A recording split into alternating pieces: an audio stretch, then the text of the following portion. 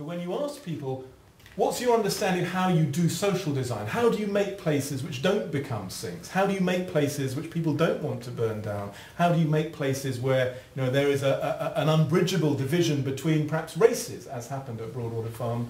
They simply don't know.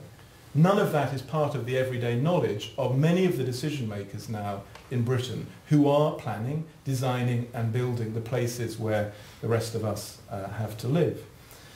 And so we're trying to ask the questions partly here but also in China where this is happening even more glaringly where the new developments are ignoring almost everything that's been learnt about how you make places livable. To get a bit of a focus, I think very much as Paul was saying, on the fine-grained details of not, not the big plans but the small things which make places work. Some of which are about very easy things about lines of sight, about the exact balance between publicness and privacy and how people interact. Uh, some of which are, are less physical, but which are about how around places do you create a, a sense of mythology, stories, boundaries, the things which make places have belonging and identity. Some of which are about social organisation, leadership, uh, and so on. Some of them are about uh, economy, and I think some also about assets. And the only thing I disagree with Paul about is I think actually community-owned energy may turn out to be a, a, more, a more successful economic model than very large-scale generation or uh, the, the, the, the solar panels on the house, but at least we should try and discover. The key, I think, is that in all of these developments, the most important uh, sort of condition for success is precisely the opposite of the total plan, is what we would call incompleteness.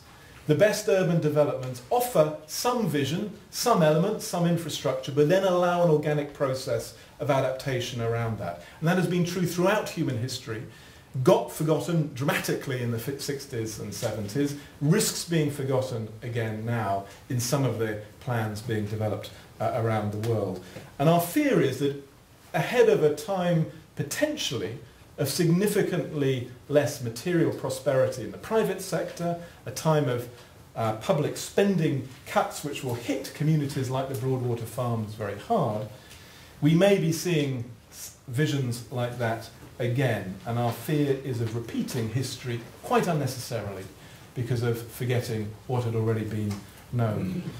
And my simple plea really for this discussion is that all the most attractive visions should try so far as they can, to go with some of the grains of human nature, to have social design alongside civil engineering uh, uh, and architecture, to learn from life what actually does make places fun, safe, warm, convivial, uh, and so on. Because if we don't, it's not only bad for the people who live in those places, actually it's pretty bad for the investors as well because their asset values turn out to be close to zero. Thank you.